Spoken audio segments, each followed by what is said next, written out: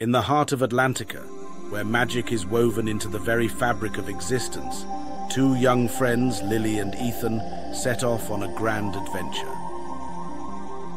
As Lily and Ethan explore the enchanting forest, their eyes widen with wonder as they discover a tree unlike any they have ever seen before. The tree listens attentively as Lily, impulsive and ambitious, shares her deepest desire for endless wealth and material possessions. With each passing moment, Ethan's mind brims with wisdom as he contemplates the true meaning of happiness and fulfillment. Lily finds herself surrounded by opulence beyond her wildest dreams, yet an overwhelming sense of loneliness gnaws at her heart. Meanwhile, Ethan immerses himself in deep conversations, nurturing his friendships and creating lasting bonds that fill his heart with joy. Lily's once vibrant spirit fades as she finds herself wallowing in the emptiness of her luxurious mansion, with no one to share her treasures with.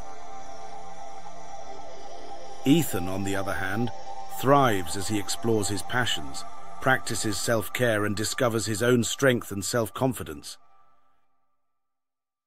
Lily, her heart heavy with regret, returns to the magical tree, longing for a chance to reshape her choices.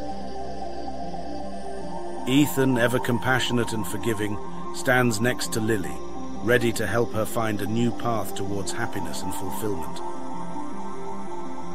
United by their newfound wisdom, Lily and Ethan join forces and embrace the power of sharing and caring. Together, they create a community dedicated to spreading happiness and helping others find their own paths to fulfillment.